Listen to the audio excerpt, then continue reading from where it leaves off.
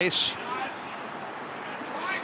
field is set, racing in the Scarborough, Matisse midfield away, Bold Bastille jumped well with To Be or Not To Be. Chateau Miraval got up to third, they're two lengths in front of Bellatrix Star and GG's Miss Truth. A couple Sassy Jenny, followed by another Prophet, and they steam three lengths in front of Benazil and well back in the field Matisse, a gap to Zaytung, and in her rise is last. So it's Bold Bastille, 750 metres to go with superior speed to the bend, a length and a quarter in front of Chateau Miraval to be or not to be as third and fourth Bellatrix Star. A length and a quarter, GG's Miss Truth. Fifth on the fence, then another Prophet. Next, Sassy Jenny, Matisse, Benazil, well back Zaytung and in her eyes.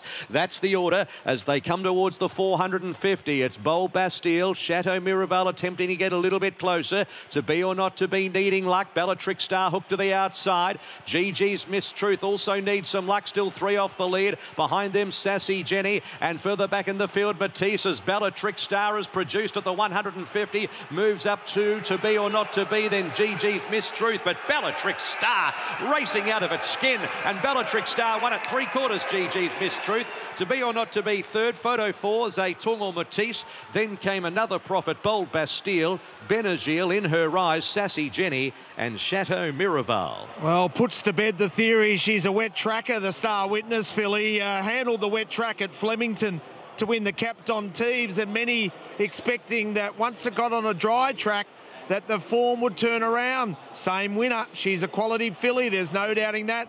If you stayed uh, uh, with confidence with her, gee, you've been rewarded with a price. GG's Mistruth. This quality Tasmanian filly runs second.